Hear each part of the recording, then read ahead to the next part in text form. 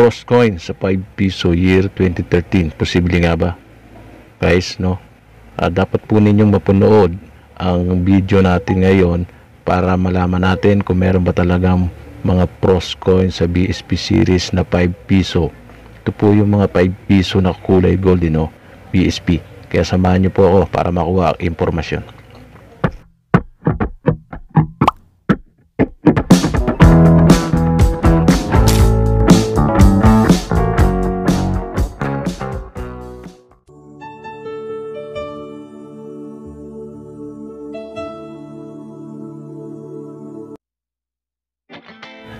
Alright guys, welcome back to my channel Kalimay Online po. At doon sa mga bago lang sa ating channel abay subscribe na po kayo.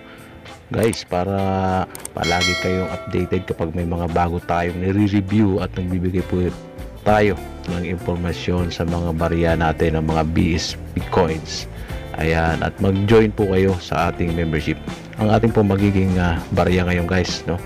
Year 2013 ayan po yung nakikita nyo na yan uh, gold siya eh, no? at uh, ito pong uh, 2013 na ito sa obserbasyon ko nung nakuha ko ito nung uh, mga nakaraang araw lang eh. At uh, kinilatis ko no? At uh, sa tingin ko pros yan.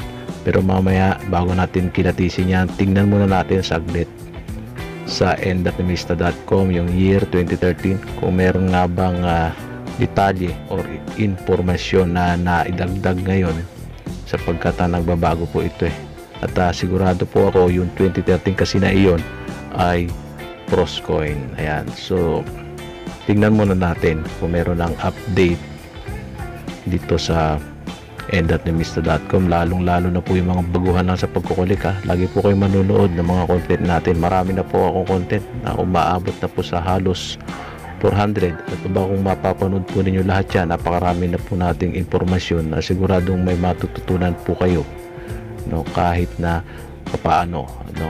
Ayan guys 2013 uh, 12% po siya no overs 3 at yung sumunod 2014 na ibig sabihin walang ibang variation sa kasalukuyan. 2013 lang uh, BSP overs 3 lang.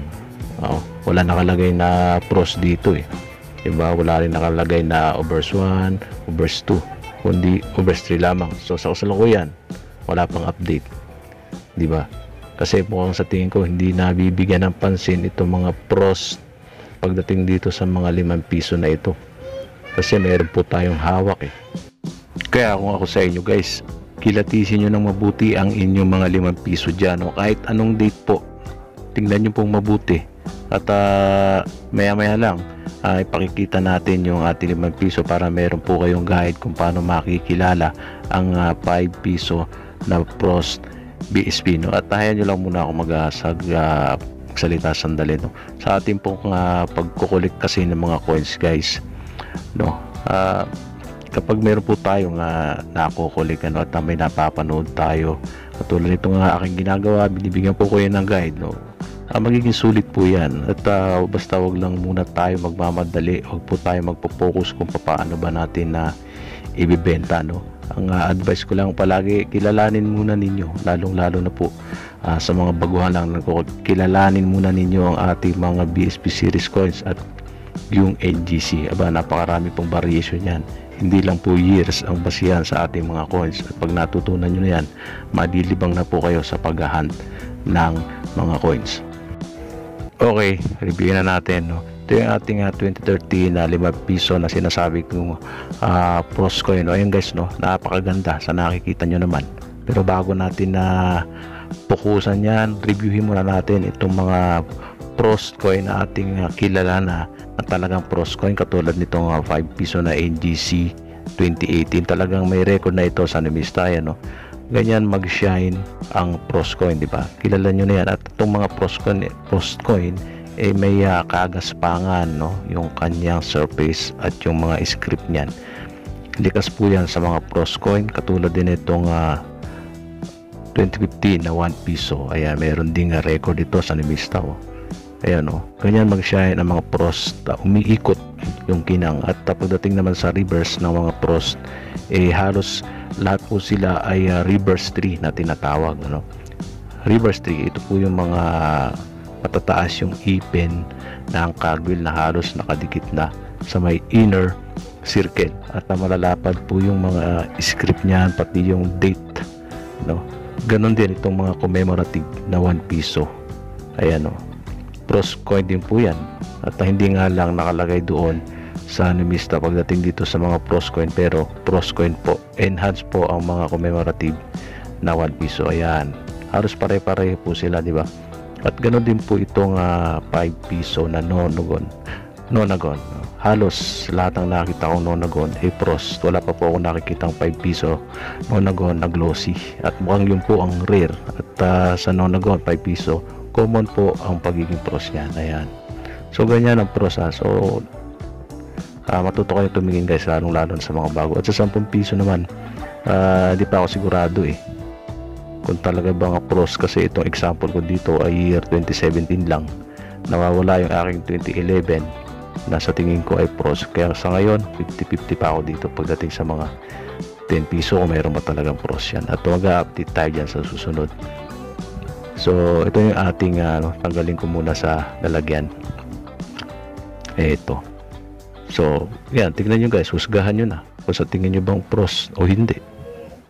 Oh ano sa tingin niyo pros ba o hindi kinilatis ko na yan ng mabuti guys pero kung ano man ang inyong magiging opinion dyan, eh, siyempre, re-respeto natin yan. Pero ayun, nagbigay na ako ng mga gabay niyo, eh, no? guide ninyo. Pagdating sa mga pros. Ito, meron akong isang 2013 dito. Uh, i-compare natin itong dalawa na to para yung 2013 yan at medyo extremely fine pa itong isa na to pero pag tiningnan mo siya no, iba yung kinang niya buo lang ayan ang common. Oh, magkaiba di ba?